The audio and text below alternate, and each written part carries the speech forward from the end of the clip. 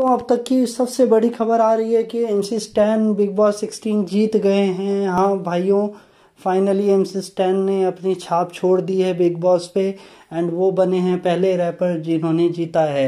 And उन्होंने starting में तो उतना अच्छा शुरुआत नहीं किया था, लेकिन धीरे धीरे जैसे जैसे बिग बॉस आगे बढ़ता गया, इन्होंने बहुत उमदा खेला है। एंड फाइनली जितने एम के फ़ैन थे पी टाउन फैंस थे, आप सबके लिए बहुत बड़ी खुशखबरी है कि एम स्टैन इस बार बिग बॉस सिक्सटीन के विजेता हैं। Thank you guys thank you for बाकी न्यूज़ के लिए। प्लीज़ आप स्टे ट्यून रहिए इस चैनल से एंड इसको प्लीज़ सब्सक्राइब कीजिए। Thank you thank you everyone